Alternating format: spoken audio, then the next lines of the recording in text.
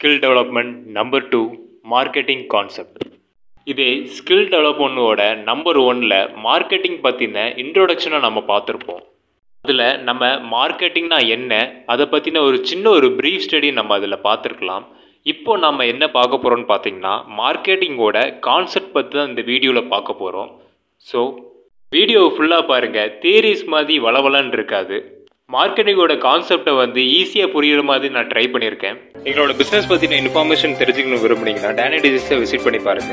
And regular details உங்களுக்கு வரணும்னு விரும்புனீங்கன்னா சப்ஸ்கிரைப் பண்ணி first choose your business product or service அதாவது ஃபஸ்ட் நம்ம திங்க் பண்ண வேண்டியது என்னன்னு பார்த்தீங்கன்னா நம்ம எந்த இதில் பிஸ்னஸ் பண்ண போகிறோம் அதாவது ஒரு ப்ராடக்ட் எடுத்து பிஸ்னஸ் பண்ண போகிறோமா இல்லை வந்து ஒரு சர்வீஸில் பிஸ்னஸ் பண்ண போகிறோமா அதில் நம்ம ஃபிக்ஸ் பண்ணிடணும்.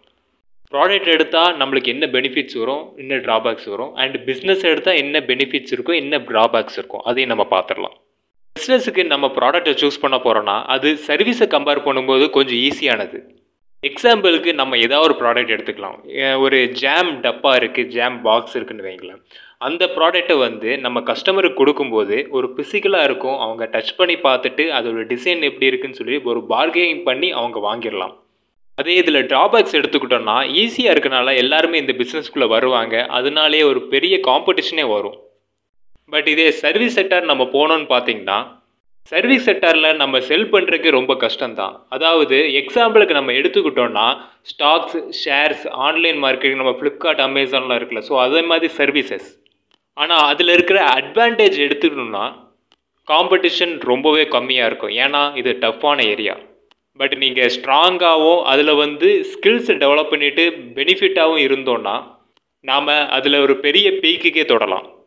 ஃபஸ்ட்டு பாயிண்ட்டை பொறுத்த வரைக்கும் நம்ம பிஸ்னஸாக இல்லை ப்ராடக்டாக நம்ம சூஸ் பண்ணியிருப்போம் செகண்ட் பாயிண்ட் நம்ம பார்க்க போகிறது ஹூ இஸ் யுவர் கஸ்டமர் நம்ம நம்மளோட கஸ்டமர் யாருன்னு நம்ம இப்போ பார்க்க போகிறோம் உங்களுடைய ப்ராடக்ட் ஆர் சர்வீஸ் வந்து யாருக்கு பிடிக்கும்னு பாருங்கள் அதாவது நம்ம யாருக்காவது பிடிக்காத ஒரு பொருளை நம்ம அவங்களுக்கு கொடுத்தோன்னா ரிட்டன் அதே ப்ராடக்டை அவங்களாவே கன்சியூம் பண்ண மாட்டாங்க. மறுபடியும் நம்ம புஷ் பண்ணிகிட்டே இருக்கணும். ஸோ அதில் வந்து நம்ம க்ரோத்தை நம்ம பார்க்க முடியாது.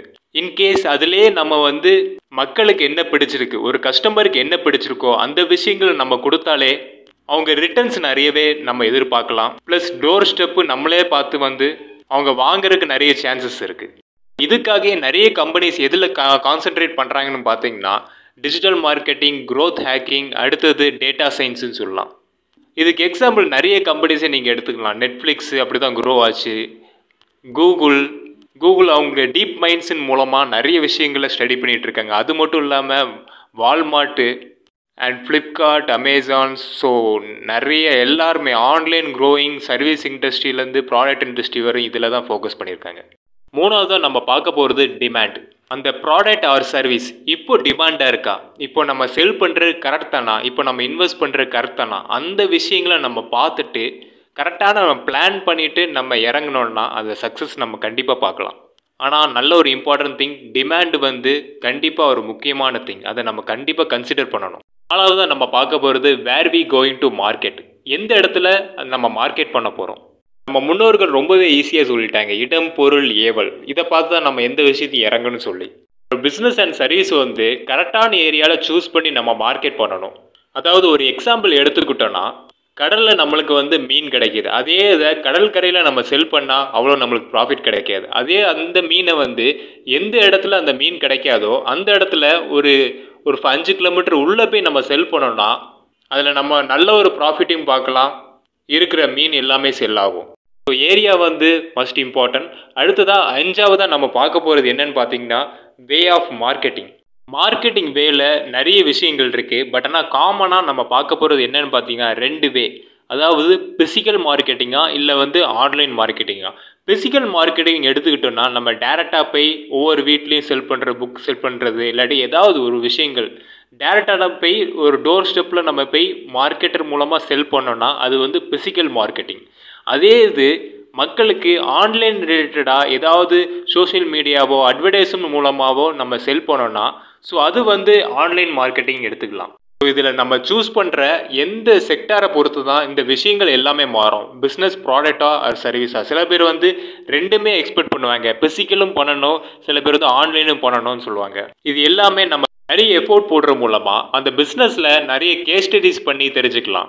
மார்க்கெட்டிங்கோட கான்செப்டில் நம்ம பார்க்க வேண்டிய விஷயங்கள் வந்து first choose your business product or service அதுக்கடுத்தது எடுத்துக்கிட்டிங்கன்னா ஹூ இஸ் யுவர் கஸ்டமர் நம்மளோட கஸ்டமர் யார்? அதுக்கடுத்து டிமாண்ட் நாலாவதாக எடுத்துக்கிட்டிங்கன்னா where are you going to market எங்கே நம்ம மார்க்கெட் பண்ண போகிறோம் அடுத்தது வே ஆஃப் மார்க்கெட்டிங் நம்மளுடைய வே எப்படி? ஸோ அதை நம்ம பிளான் பண்ணிக்கூடாது தான் உங்களுக்கு இந்த இன்ஃபர்மேஷன் பிடிச்சிருந்தா கீழே இருக்க லைக் பட்டனை கிளிக் பண்ணிருங்க.